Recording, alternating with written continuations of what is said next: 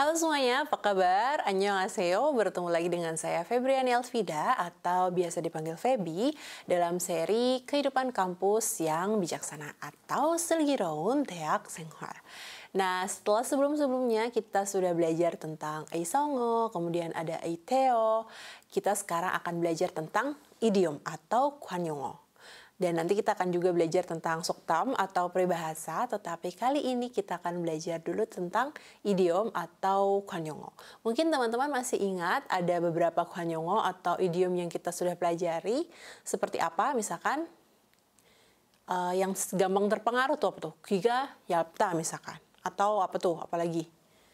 Banyak ya, nanti uh, teman-teman uh, bisa meng-refresh kembali dan biasanya itu berhubungan dengan anggota tubuh benar-benar atau misalkan nunko tersaiga opta itu juga ada ya. Atau banyak sekali nanti bisa dicek lagi ya di video-video sebelumnya. Nah kali ini kita akan belajar juga tentang empat oh lima lima idiom yang juga berhubungan dengan anggota tubuh. Kita lihat tidak semuanya ya berhubungan dengan anggota tubuh tetapi ada beberapa nah yang pertama ini adalah olguri tukopta. Olguri tukopta. Nah olgul wajah ya. Olguri tugopta. Tugopta itu apa ya teman-teman? Tebal ya. Jadi biasanya untuk buku, untuk apa sesuatu yang tebal itu tugopta. Olguri tugopta. Nah, kemudian yang kedua ada olguri tegopta. Nah, ini tugopta sama olguri tegopta. Tegopta ini adalah panas ya panas itu adalah ketika nah teman-teman kalau misalkan kita tahu panas itu kan ada dopta dan tegopta ya bedanya tahu ya kalau dopta itu lebih ke suasana apa sih suhu cuacanya, tapi kalau tegopta itu misalkan air atau sesuatu yang kita pegang, ih panas, nah itu tegopta. Olgul itu juga tegopta ya. Jadi olgul wajahnya panas. Nah kira-kira maksudnya apa nih? Nanti kita cek ya. Yang ketiga ada comi susita. Comi susita. Nah, ini juga berhubungan dengan anggota tubuh sebenarnya, tetapi tidak dispesifikasikan, cuman maksudnya dia tuh gatel gitu ya. Jadi badan itu gatel yang karena apa? Karena jom itu nanti kita akan jelaskan itu dari apa. Kemudian chanmur을 kionta. Chanmur을 kionta.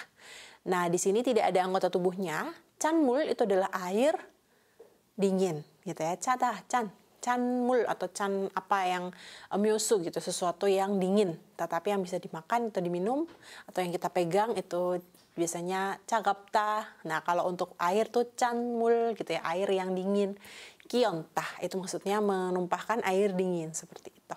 Kemudian ada ko muden tun. Ko muden tun. Ko itu adalah hidung. Nah ini berhubungan dengan anggota tubuh ya. Jadi ada olgul dan ko di sini yang spesifik ya Nah, artinya dan bagaimana dia digunakan dalam kalimat kita bisa lihat ya. Yang pertama adalah Olguri tukopta. Olguri tukopta. Tukopta itu tadi apa? Tebal. Maksudnya wajahnya tebal. Oke, wajahnya tebal. Kira-kira wajahnya tebal tuh gimana teman-teman? Muka badak. ya muka badak mungkin bisa jadi ya. Maksudnya yang tidak tahu malu ya dalam bahasa Indonesia kalau kita artikan tuh seperti dia tidak tahu malu. Kita lihat contohnya dalam bahasa Korea ya. 저 친구는 부정 행위로 시험에 합격하고도 자랑하는 거 보니 참 얼굴이 두꺼워. 저 친구는 부정 행위로 시험에 합격하고도 자랑하는 거 보니 참 얼굴이 두꺼워. Nah, kita lihat 저 친구는. Jadi teman itu ya. uh, 저 친구는 teman itu, uh, misalnya kayak orang itu, teman itu gitu ya. Bujong hengwi ro, ro itu maksudnya karena ya. Bujong hengwi itu adalah hengwi itu perbuatan, bujong itu adalah sebenarnya bujong itu negatif ya. Berarti yang tidak baik. Maksudnya dia uh, tidak baik lah pokoknya kalau dilihat bujong hengwi seperti apa contohnya? Mencuri, mencontek, apalagi tuh banyak ya bujong hengwi itu banyak ya atau misalkan berbohong kayak gitu ya 부정 행위로 시험에 합격하고도 시험에 합격하다 시험 itu adalah ujian 합격하다 di sini adalah lulus ya 시험에 합격하다 저 친구는 부정 행위로 시험에 합격하고도 하고도 maksudnya meskipun dia uh, apa 합격하다 lulus ujian dengan curang. Nah, bujong hengwi itu maksudnya perbuatan curang. Kalau kita uh, bahasa Indonesia kan ya, kayak misalnya bujong tuh yang negatif gitu ya, yang jelek, perbuatan curang atau perbuatan jelek gitu ya. Uh, jadi dengan perbuatan curang kayak gitu ya, jarang hanan boni, tapi ternyata dia jarang hada itu dia tuh kayak boasting atau memamerkan kalau dia eh aku udah lulus loh, aku udah selesai ini ujiannya udah dapat nilai bagus loh, padahal dia curang, misalkan dia contek atau dia apa kayak gitu ya banyak perbuatan-perbuatan yang lain ya. Jadi jarang hanan boni melihat dia memamerkan kalau dia lulus ujian meskipun dengan perbuatan curang kayak gitu ya. Cam 얼굴이 두꺼워. Benar-benar deh dia tidak tahu malu. Benar-benar dia tidak tahu malu. Cam 얼굴이 두꺼워. Cam uh, mukanya ini banget sih, tebel banget sih gitu ya. Jadi maksudnya tidak tahu malu. Kita lihat ya. 저 친구는 부정 행위로 시험에 합격하고도 자랑하는 거 보니 melihatnya memamerkan dia uh, lulus ujian meskipun uh, dengan curang seperti itu ya. Cam olguri tukowo. Benar-benar dia orang yang tidak tahu malu atau mukanya tebel banget gitu ya maksudnya dia tidak tahu malu kayak gitu misalkan dia sudah pernah berbohong tapi tetap aja uh, melakukan sesuatu yang dia nggak tahu malu lah pokoknya nggak ya udah pede aja gitu nah itu olguri tukowo kayak gitu ya tugoptah tah kayak gitu ya, tukowo kayak gitu ya. Jadi uh, mukanya tebal kayak gitu. Teman-teman, ini bisa digunakan nanti ketika ada eh, situasi seperti ini ya. Jadi misalkan sesuatu dia yang dia tidak tahu malu meskipun dia sudah melakukan perbuatan yang jelek. Misalkan banyak sih sebenarnya ya kayak apa ya kayak misalkan sudah menikah ternyata uh, melakukan perbuatan yang tidak baik. Nah itu tapi tetap aja uh, dang-dang hage atau dengan dengan ininya apa namanya apa sih tidak tahu malunya gitu ya. Atau misalkan dia sudah uh, mencuri gitu ya tapi ternyata masih keluar-luar aja keluar rumah atau membanggakan eh aku ini loh beli ini tapi ternyata dia black market. Tidak tahu ya. Jadi maksudnya uh, sesuatu yang uh, tidak tahu malu atau sesuatu yang tidak baik tapi dipamerkan. Nah itu cam olguri tukopta tugaun saram. Olguri tukaun saram. Atau orang yang tidak tahu malu. Olguri tukaun cinggu. Uh, teman yang tidak tahu malu. Itu juga bisa. Atau misalnya juga kayak gini. Misalkan teman itu pinjam uang ke kita tapi terus besok besoknya lagi masih tetap pinjam uang. Nah itu juga mungkin bisa ya. Pakai olguri tukaun cinggu. Seperti itu. Sampai sini teman-teman tidak masalah ya untuk idiom yang pertama. Kuanyongo yang satu adalah olguri tukopta yang selanjutnya ini masih sama dengan olgul ya, jadi sama-sama wajah atau muka. Olguri tegopta. Olguri tegopta. Wajahnya atau mukanya panas. Kalau tadi mukanya tebal, tidak tahu malu. Kalau mukanya panas, itu maksudnya kira-kira apa? Kayak aduh, aduh panas nih, aduh, aduh nggak tahu harus ngapain nih gini. Biasanya gitu kan ya. Itu apa? Kayak malu gitu ya. Dia tidak pede, dia malu. Kita lihat 전교생이 지켜보는 무대에 서서 연설을 하니 얼굴이 매우 뜨거웠다. 전교생이 지켜보는 무대에 서서 연설을 하니 얼굴이 매우 뜨거웠다. Nah, di sini 뜨겁다 itu adalah panas. 전교생, 전교, 전 itu adalah seluruh, gyo itu adalah sekolah. Jadi maksudnya seluruh siswa sekolah gitu ya. 지켜보는, 지켜보다 itu adalah melihat atau kayak memperhatikan seperti itu ya, melihat atau memperhatikan mude. Teman-teman mengenal kata mude? Mude itu adalah panggung ya. Mude itu adalah panggung. 전교생이 지켜보는 무대에 서서 soda itu adalah berdiri. Jadi maksudnya berdiri di panggung yang diperhatikan atau dilihat seluruh mahasiswa, seluruh siswa sampai satu sekolah gitu ya.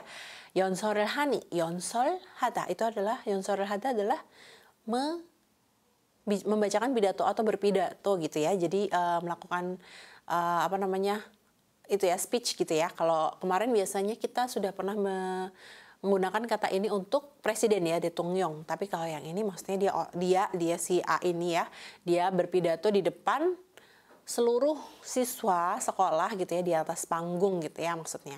Hani, Hani karena itu olguri meu tegawata. Jadi mukaku panas maksudnya uh, dia malu gitu ya, jadi aku malu sekali gitu ya. Olguri meu tegawata.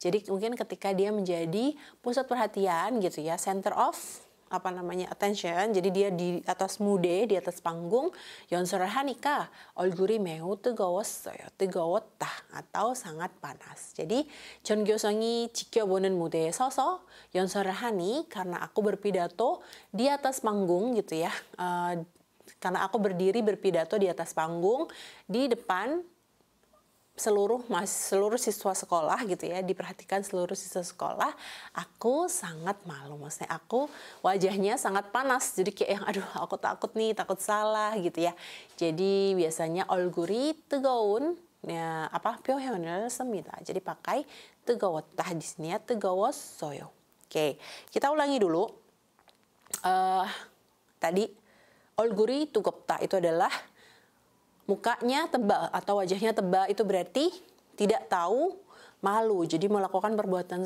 yang tidak baik gitu ya, tapi tetap ditunjukkan gitu ya. Dia tidak tahu malu. Jadi tebal gitu ya. Mukanya badak ya, bener nggak sih? Oke, kemudian olgori tegopta itu adalah mukanya atau wajahnya panas. Berarti dia malu-malu gitu ya. Kayak aduh nggak pede seperti itu. Nah sampai sini tidak masalah teman-teman ya. Jadi ini berhubungan dengan wajah atau muka atau olgul. Kita lanjutkan ke konyongo atau idiom yang ketiga. Ini artinya adalah Jomi susida. Jomi susida. Nah, di sini susidanya S-nya double ya, sang siot. Jadi susida, jomi susida. Jadi maksudnya jom itu uh, de, seperti kayak binatang kecil yang ke kemudian dia menempel di badan terus kayak membuat kita gatal. Kan kayak yang aduh gatal-gatal nih. Nah, itu kayak gitu. Jadi kayak gatal-gatal gitu. Jomi susida. Kita lihat kalimatnya. 민호는 며칠 후면 격리가 풀려 자유가 될 생각에 좀이 쑤시었다.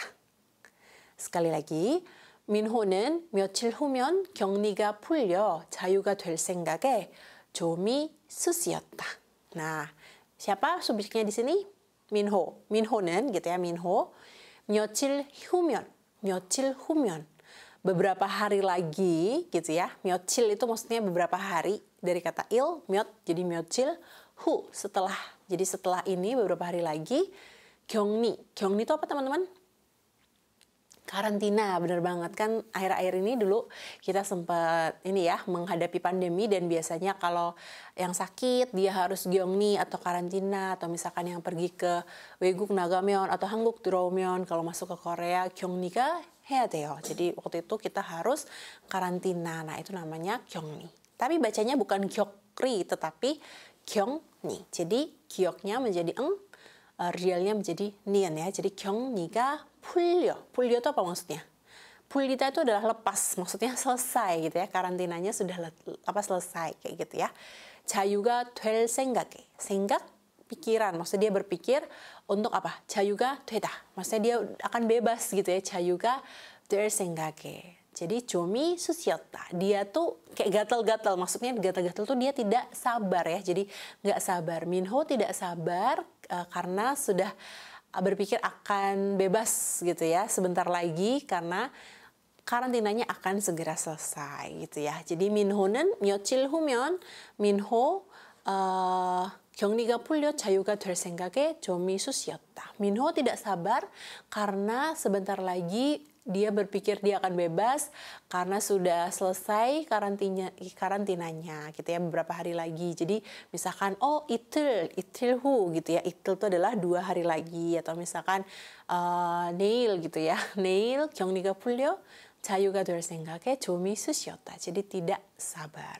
Atau misalkan teman-teman sedang ini ya uh, ujian 시험인데 uh, 다음 주는 방학이에요. Jadi apa minggu depan sudah liburan. Nah, itu kayak ah apa 방학 이들 생각에 gitu ya sebentar lagi akan liburan 좀, 좀 미수시였다 좀 미수시였어요 jadi udah nggak sabar karena sebentar lagi liburan apalagi kalau misalkan kalau di Korea atau di mana ya di Korea biasanya ya di Korea itu ada liburan musim dingin ada liburan musim panas gitu ya Kyeol bangak Yorem bangak gitu ya yang lebih panjang itu yang mana dan biasanya kan pergi kemana gitu sama teman-teman yoheng kayak gitu ya atau misalkan teman-teman pergi ke konser konser 갈때 연예인을 볼 생각에 gitu ya.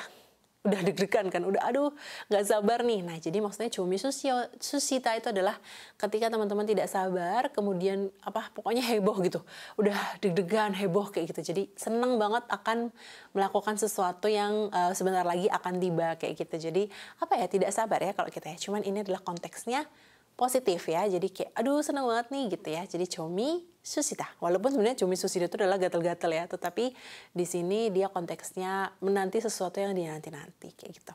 Oke, kita ulangi lagi ya. Olguri tugoptah itu adalah wajahnya tebal atau muka tebal atau tidak tahu malu. Kemudian olguri tegopta itu adalah wajahnya panas, maksudnya dia malu gitu ya, malu-malu. Kalau tadi tidak tahu malu, kalau yang ini malu gitu ya. Terus Jomi susida, maksudnya tidak sabar, udah gatal-gatal nih, udah nggak sabar lagi karena akan melakukan sesuatu yang dinanti-nanti seperti itu.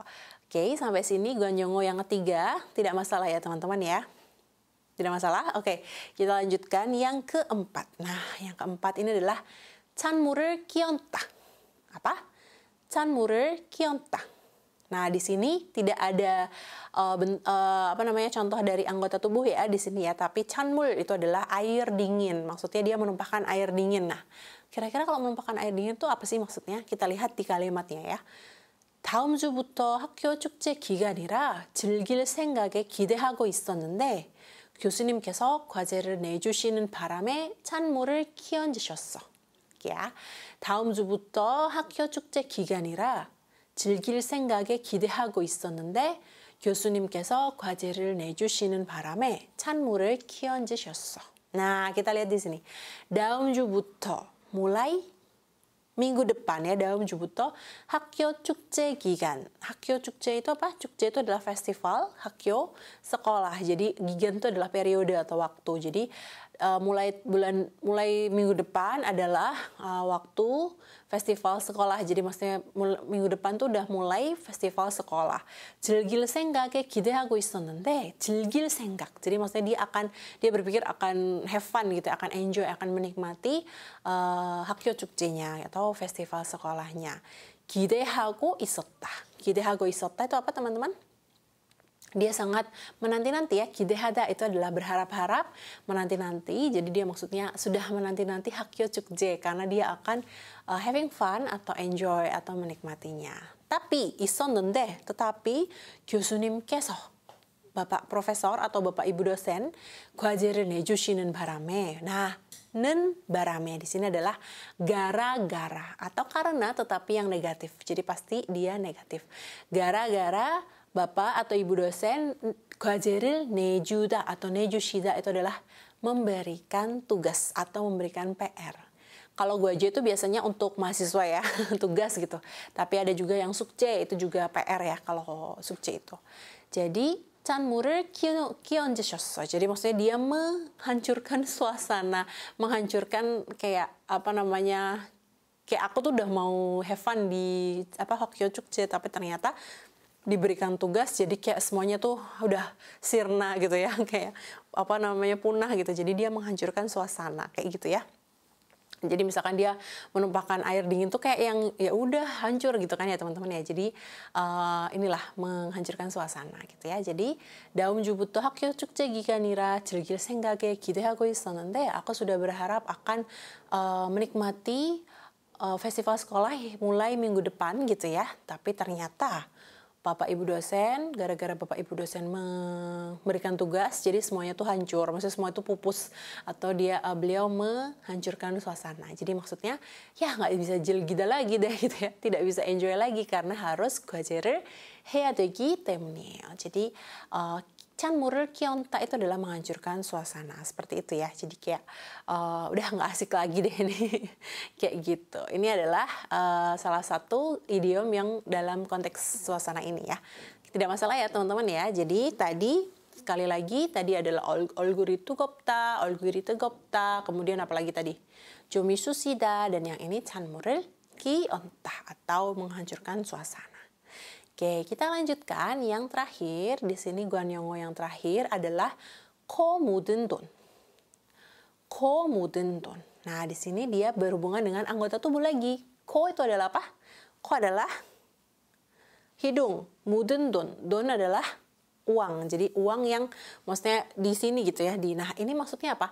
Jadi ko mudun don itu adalah ketika dulu Korea masih sangat miskin ya, maksudnya tidak tidak punya, maksudnya masih zaman dulu lah pokoknya. Nah, komutun itu adalah uang yang dimiliki oleh orang yang miskin, jadi orang yang tidak berkecukupan ya. Jadi Orion Sangwang Heinen Saramder. Nah, itu biasanya mereka um, sangat susah ya mendapatkan uang gitu ya. Jadi biasanya uh, kalau misalkan mereka punya uang pun disebut komudentun. Jadi kayak uang yang sedikit yang uh, dia dapatkan dengan sulit gitu ya. Jadi ketika apa namanya uh, masih zaman dulu itu biasanya digunakan untuk orang-orang yang lemah atau orang-orang yang tidak memiliki kedudukan, tidak punya harta. Nah, itu uangnya adalah ko mudun ya. Jadi ko mudun Nah, kalau yang sekarang konteksnya seperti apa nih? Dalam kalimat ini 동네 불량배들이 초등학생들의 코 묻은 돈을 뺏어갔다.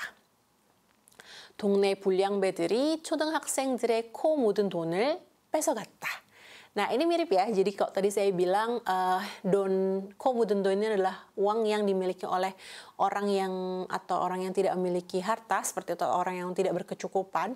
Nah di sini adalah deh. Nah kira-kira hakseng itu apa? Anak SD ya, siswa SD gitu. Kira-kira punya banyak uang nggak sih teman-teman? Enggak lah ya, maksudnya kan dia diberikan yongdon atau diberikan uang sakunya dari orang tuanya. Jadi maksudnya uang yang tidak seberapa gitu ya 초등학생들의 코 묻은 돈. Jadi uh, uang sakunya anak-anak SD. Banyak nggak sih kira-kira? Enggak kan? Jadi kita lihat di sini. 동네 불량배들이, 동네 불량배 itu adalah apa ya preman gitu ya. Jadi gangster atau kayak orang-orang yang sukanya godain orang gitu ya. Nah, buliang B itu adalah seperti itu. Jadi mungkin preman atau yang gangster di daerah dongne maksudnya kayak di sekitar kita ya di sekitar rumah kita kayak gitu ya atau misalkan preman komplek atau preman kawasan kita gitu ya. sedang 학생들의 코 묻은 돈을 뺏어갔다. Jadi mengambil uang atau merampas atau me, apa ya namanya me, ini ya merampas uang uh, saku dari anak-anak SD. Jadi misalkan dia ini ya, uh, eh uang mana sih nih? Minta uang kayak gitu. Terus kalau nggak diancam kayak gitu misalkan atau diapain, ditakut-takutin. Nah, jadi sampai harus memberikan uangnya mereka. Padahal masih chodohaksengder gitu ya, masih anak-anak SD. Makanya disebut komudendon atau oh, apa namanya uang saku yang tidak seberapa karena uh, pada awalnya sebenarnya ini adalah uh, originalnya itu adalah dari uh, uang yang dimiliki oleh orang-orang yang lemah atau orang-orang yang tidak memiliki harta atau kedudukan. Nah, peso gata itu dari kata ini ya apa namanya mengambil, mencuri gitu, meng, mengambil gitu, merampas kayak gitu. Jadi dia merampas langsung, kemudian dia pergi dan meninggalkan si anak-anak ini. Jadi 동네 불량배들이 초등학생들의 코 묻은 돈을 뺏어갔어요. pesogas. Nah ini adalah salah satu perbuatan yang tidak terpuji juga ya, juga ya teman-teman ya. Aju, napen, irijo. Jadi ah apa namanya salah satu uh, hal yang tidak baik kayak gitu. Jadi komudendun di sini adalah uang saku anak-anak ya kalau sekarang di konteks yang sekarang tapi sebelumnya adalah uang yang dimiliki oleh orang yang lemah atau orang yang sulit gitu ya uh, tidak memiliki banyak harta seperti itu nah kita lihat dari tadi ya tadi sudah beberapa ada olguri tugopta itu adalah wajahnya tebal maksudnya tidak tahu malu. Kemudian olguri tugopta itu adalah panas wajahnya maksudnya dia malu gitu ya.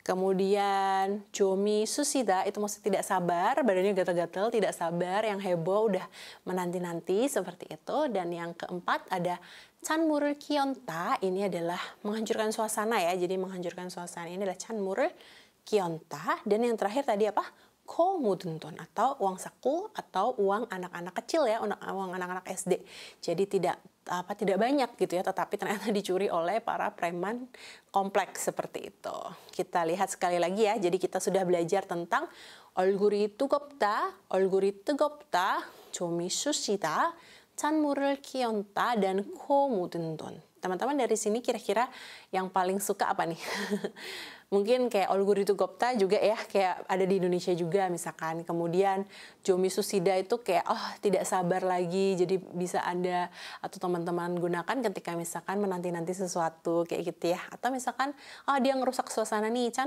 Kionta itu juga bisa. Atau kita bilang oh eh, apa namanya uang sakunya anak-anak misalkan komudentun itu juga bisa.